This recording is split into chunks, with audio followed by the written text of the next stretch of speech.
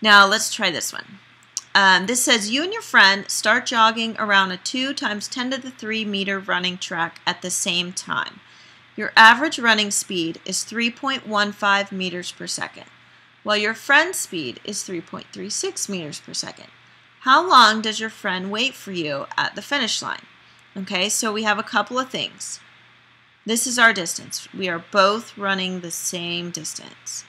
Okay, this is your speed. I'm going to call that V1 and this is your friend's speed. And I'm gonna call that V2 okay and then it says how long does she wait for you? So that's gonna be a time. Okay so um, let's let's line it out. There's a couple things we need to do. We need to find how long it takes you to run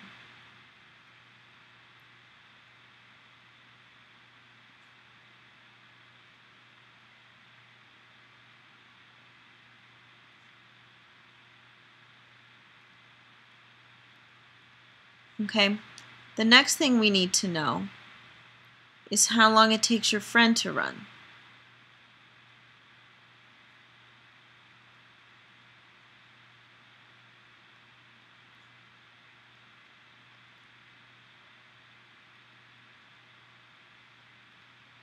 And then the third step is we need to find the difference between the two, which is our change in time. Okay?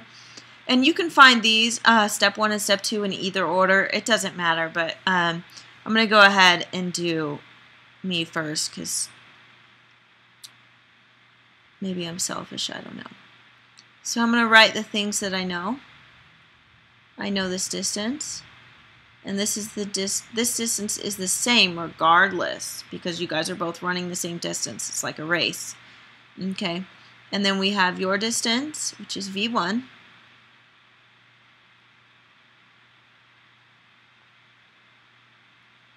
And then you have your or your um, your front your velocity. Sorry, I think I said your distance. So this is your velocity, and now we're going to write your friend's velocity. And we need to find your time. And we need to find friend's time. And we also need to find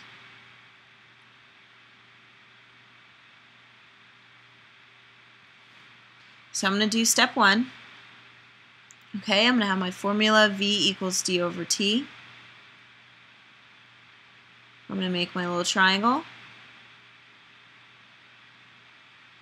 Put V, D, T. We're looking for T. So we're going to have T equals d over v. I'm going to put my distance 2 times 10 to the 3 meters on the top and I'm going to put my velocity on the bottom. Meters on the top, seconds, or meters on the bottom, seconds on the top, sorry. I'm going to cross out these meters cross out these meters, and I'm going to get an answer. I got 634.92 seconds. So that's the T1, 634.92. Okay, now I'm going to go ahead and I'm going to get my friends. Okay, this is going to stay the same, and we want our friend's time. So we're going to use this same formula. Okay, you can rewrite this part on step one if you want, but it's exactly the same. Okay, so our distance is exactly the same again. The only thing that changes is our friend's speed because our friend is a little faster than we are. But it's okay. We're better at physics. Okay, so I put my meters on the bottom again, my seconds on the top. These meters cross out. That lets me know I'm doing it right. Okay. And now I'm going to do 2 times 10 to the 3 divided by 3.36.